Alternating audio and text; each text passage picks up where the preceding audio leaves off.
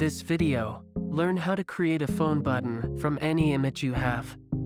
How to use on pointer down to get a click down. How to call player jump from this UI button. Common errors when your buttons did not work. How to use serialize field. How to restart the current game scene. How to handle many buttons in one same script.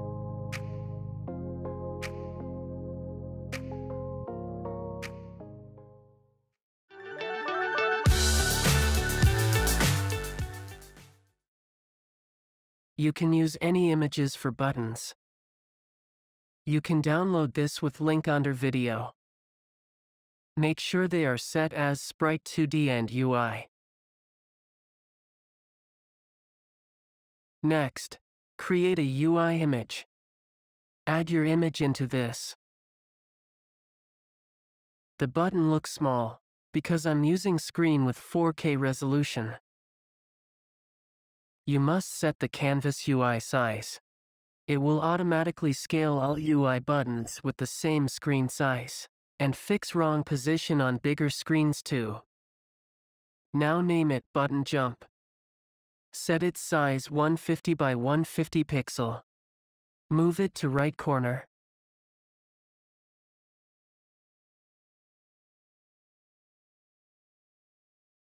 Let's make script to handle button click.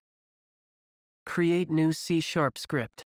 Name it button touchdown to detect any click down. Add this script into our button jump. Open it. Remove unnecessary codes. When a UI is created, Object Event System will be created automatically. To detect a touchdown on button, we will use on pointer down. Let's find out how to use this event. This is an example how to use it. It will use object event systems that you just see it. Whenever you touch on phone screen, it will be stored on this event systems. Whenever a touch is clicked down, it will be added in pointer down handler. Let's try it. First, Add event systems into your script. Next, add pointer down handler to check any click down. Pointer down handler is called as a listener in Unity C Sharp. Whenever a click down is occur, this event will trigger on pointer down. You can copy and paste it into. There is another way to add it. Hover at error on pointer down handler. You will see a hint from Visual Studio. It will ask you, do you want to add this code into your script? Just click on Implement Interface to add it into. This is exactly the same code from Unity website. Delete this code of error check. It will come with an event data. You can use it to get the current position of the touch. Now let's print out a message whenever you touch on button jump. Control S to save your script. Because you added the script on button jump, so it will detect the click down on this button only. Try to click on button jump. Use script has worked.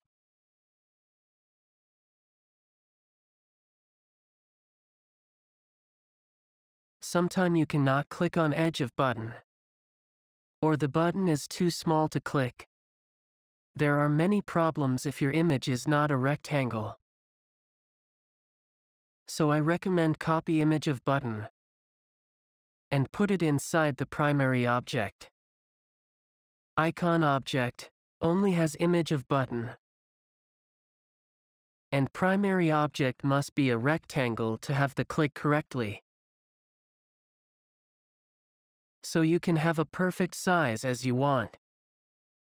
Adjust the icon of button at center. Because the script we added on rectangle object so it will always give the click perfectly.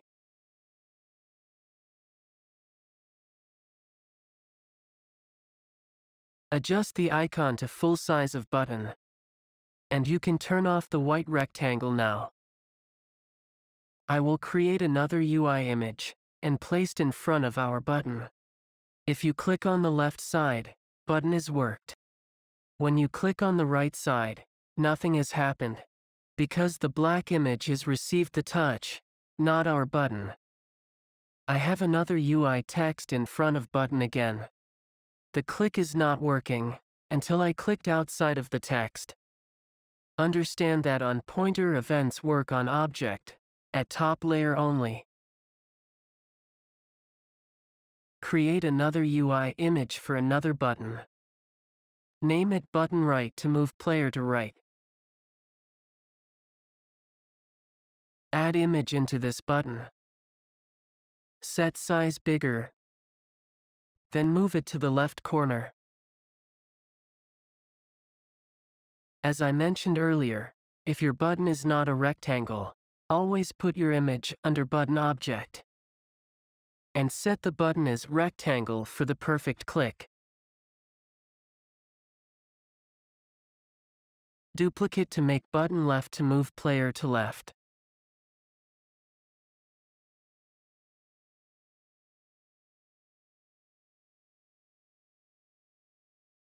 Open Script Player Controller. After button is pressed, we moved player immediately with these code. Let's adjust it a little bit to be able to move player from another script.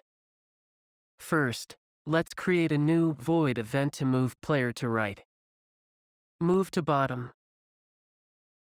Create new void event with name player move right.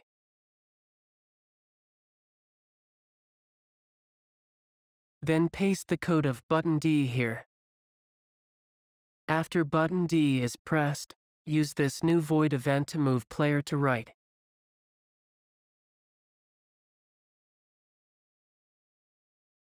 Let's do the same to create new void event for player move left.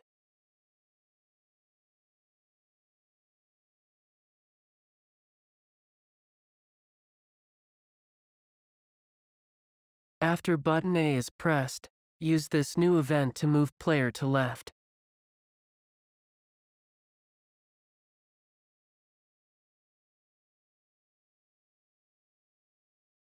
If button D or button A are not pressed, player will stop movement. Do the same to create new void event for this. Name it player stop movement.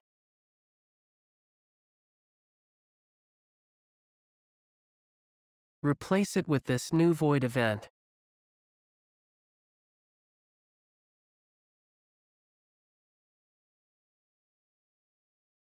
Lastly is button jump.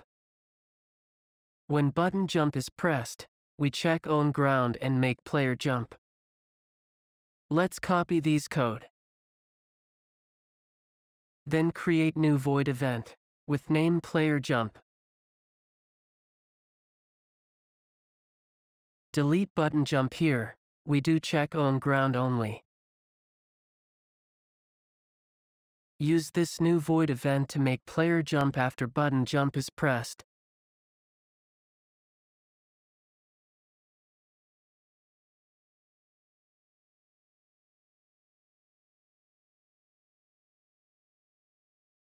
Everything still worked the same to move player. If you press play, player can move normally. But we are going to move player from another script on UI buttons. So we need to public these void event to be able to call them in another script.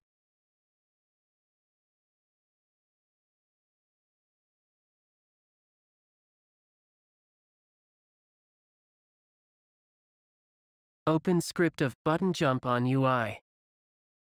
First, let's add component player controller from player into this script. Last video, we used this public variable to get a component from another script. This video, let's use another way to do it. If you use a private variable, you will not see it on editor. But if you add serialize field above this variable, or you can put it right in front of variable, serialize field will affect to the variable after it. Now you can see this private variable on Unity Editor. Most of people will use this way. But I don't like it. I like to use public variable more. After you have script player controller of object player, you can do event player jump right here from another script. Control S to save your script. Press play to see the result. Now you can make player jump with button on your phone.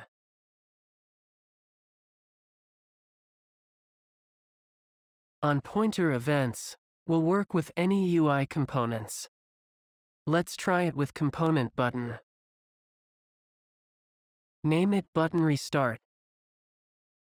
Set its size bigger. Change the text. Change button background color as you want. Move it to top corner. Now copy script button touchdown into button restart as well.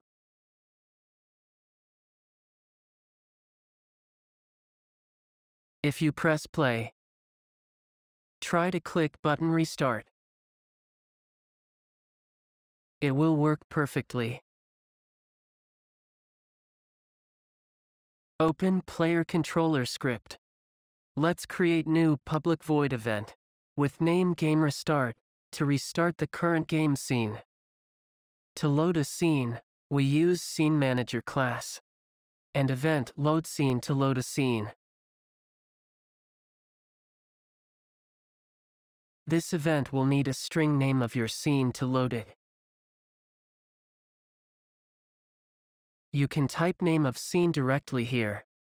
Home scene, game scene, or any scene you want to load.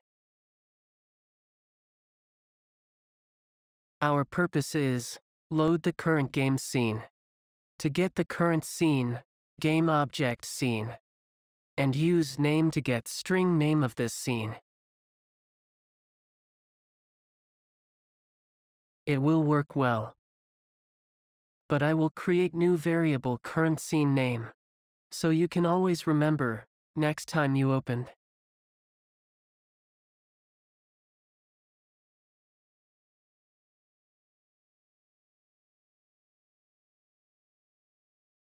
Currently button jump and button restart have the same script. Open this script. Let's fix it. If button jump is pressed, make player jump. And if button restart is pressed, restart the game. To do that, we will compare button name to see which button is pressing. Name will be different, because the script is on two different objects. If name is button jump, means button jump is pressed. Button jump is pressed, call event to do jump from player controller. Do the same to detect if button restart is pressed. If button restart is pressed, call event game restart from player controller. Also print a message to know game is restarting.